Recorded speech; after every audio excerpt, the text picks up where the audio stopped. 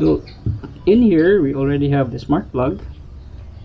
Kita na to ang readings ano niya through an app sa atong phone which is mo na itong ginagamit turmi.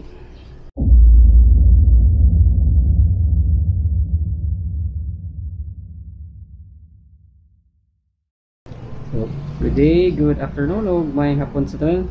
So, for this time, we, we also have this Ache. Sama ka. Isa may kontra ni mo. Iksa ba? Okay, so before that, uh, let me do a little shout out sa mga commenters na to on our previous videos, especially on the review of the Ziho EA8. So this this comments requested for shout out.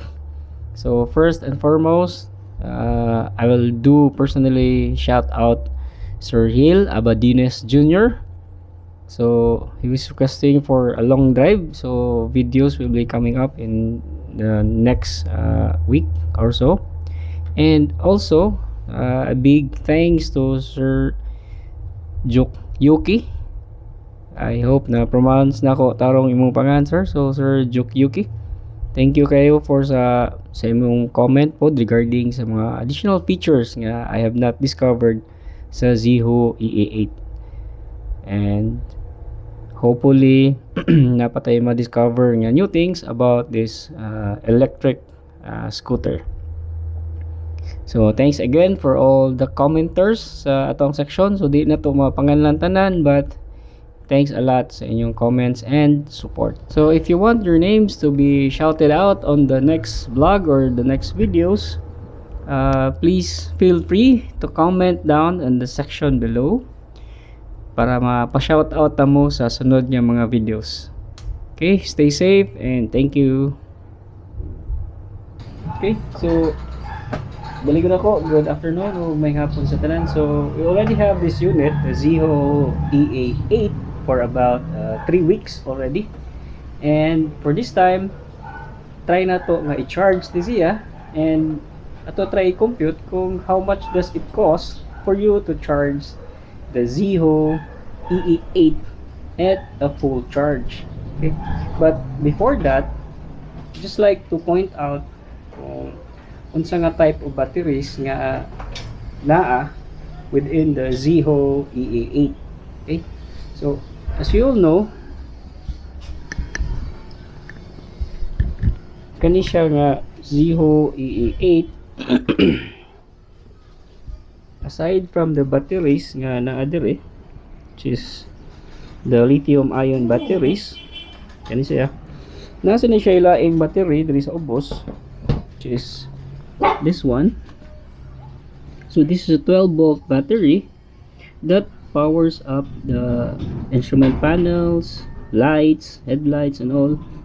But I'm just wondering kung kung saan siya pag-charge. So ako kibaw kung ma-charge ba ni siya during pod sa charging pod sa ato ang lithium ion batteries. So siguro today we'll find out kung uh, ma-charge ba sad ni siya. By the time nga mag-charge pug ka sa imo ang battery sa main battery. And by the way ang charging port na niya is na address ubos sa lingkuranan just eh, ubos-ubos gamay.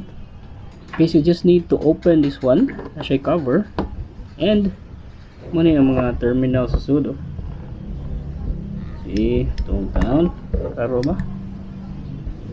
okay and also I have there the charger itself. So atong amblihan ng charger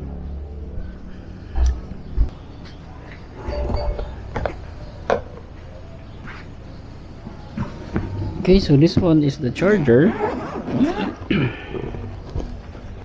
So kani siya nga charger is carry on rin siya. Pwede rin mo siya madala-dala. Anytime anywhere.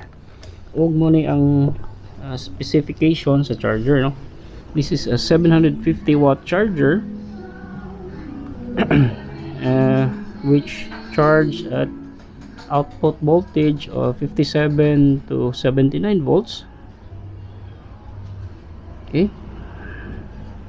At maximum output of 5.5 amps. So kani siya nga charger is mo gini ang dedicated na charger. So today we'll find out if kung mag-charge ka sa main battery ma-charge ba sad ang katong gamay nga battery which is the 12 volt battery which is I think ko na to siya deep cycle or uh, deep cycle battery that powers up the instrument panels okay? Okay so for us to check later if the deep cycle battery is ma-charge ba sa yung charger we'll test first the voltage of the battery the 12 volt battery and check if how pila sa diyang voltage kung mag-start ng charge so supposedly kung mag-charge ka it should be higher than the nominal voltage okay? So so para matest na to kung pila ka watts ang magamit to compute for the battery magamit ta og smart plug okay?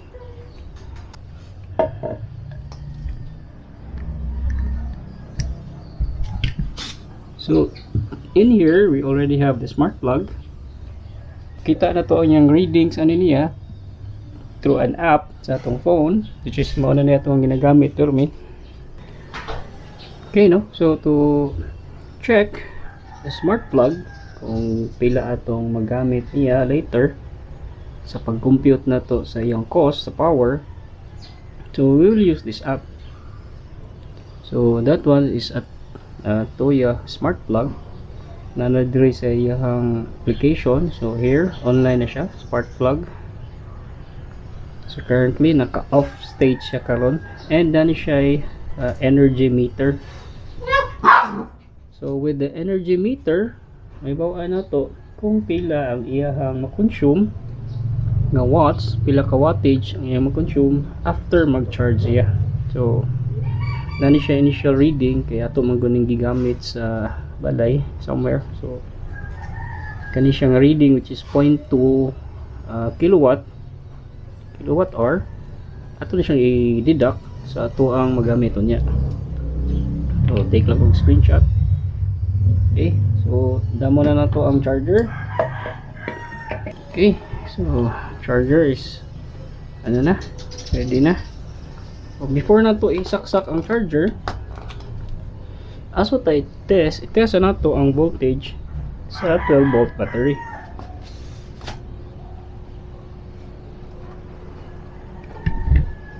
so purposely ako gining gitangta ang cover to see the current voltage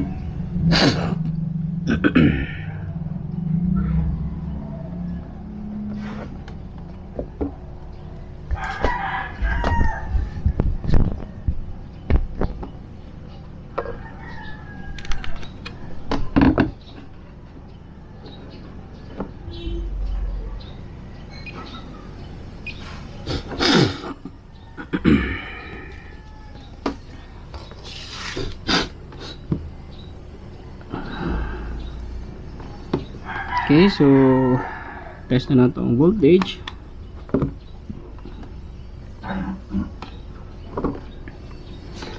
Negative, positive. So it is now at 12.85 volts. So kani siyang uh, battery. So check na to later kung musaka ba ni iyang voltage during sa charging. Okay. Okay, so naka-plug na ang main supply sa to ang charger. Ano siya? So naka-turn off pa din siya karon and ato na ning isaksak ang charger. So pag saksak ani niya na siya lock and latch para masulod gyud siya permanently sa imong charger ug diri sa imong charging port.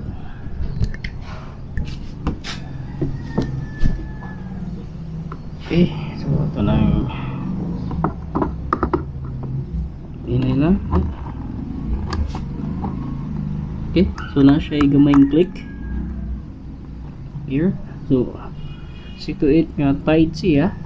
Dili siya mahulbot. Okay. So ready na itong charger plug na so pwede na to i-turn on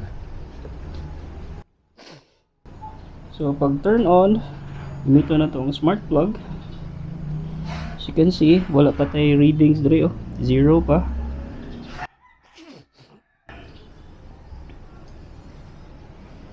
Okay, it's now turned on. So turn on. Blinking red. Blinking red meaning nag-charge na siya. And karon, we are now charging from 45% battery. Okay? So check na to later kung pila ka hour siya o full charge and pila ka kilowatt hour. So karon nag start na ang readings no? So karon natay 3979 milliamps current with a total of 856 watts Okay, so karon ato i-verify kung pila yung voltage sa 12 volt battery. So, nakasaksak na ang charger. Let's see kung ma-change ba ang voltage ani.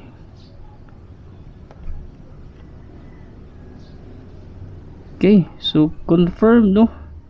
Voltage is at 14.26 So ang mo charge po day ani is ang imuhang charger pod na uh, simultaneously magdungan sila og charge sa lithium ion batteries which is the main battery for the motor.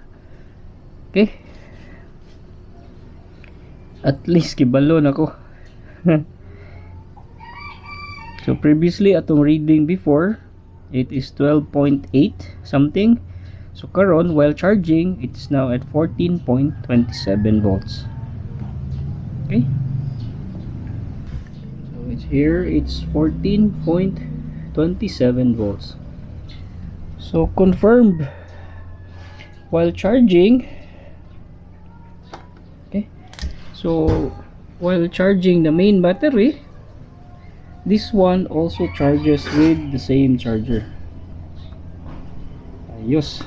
Okay.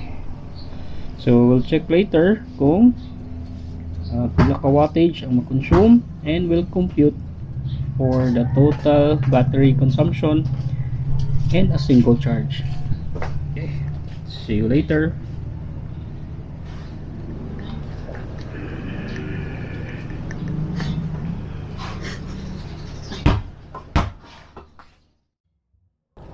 So, it's already night time. Gabi na ug mao ni ang total kilowatt hour na na-consume while charging the battery so as you can see it is 3.03 tapos i-deduct na to tong 0.2 kaganina it would be 2.83 kilowatt so basing sa charges na to from Beko mo siya mga current charges karon that would equate to a total of 16.94 pesos per kilowatt hour.